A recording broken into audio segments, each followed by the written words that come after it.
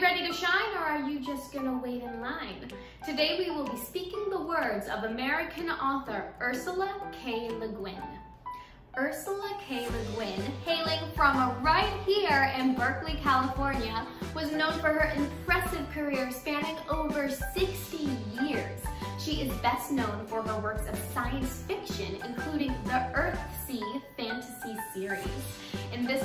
Ursula reminds us how important it is to stay in the moment and enjoy the present.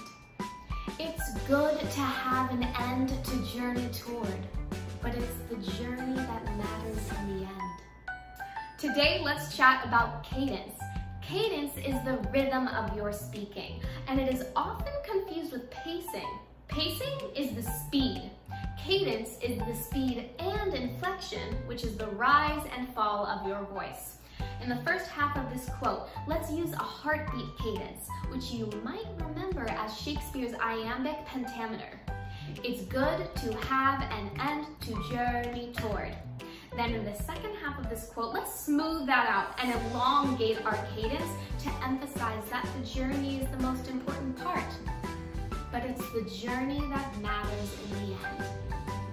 Utilize cadence because it is an exciting and way to get your audience engaged and bring them on a journey with your words.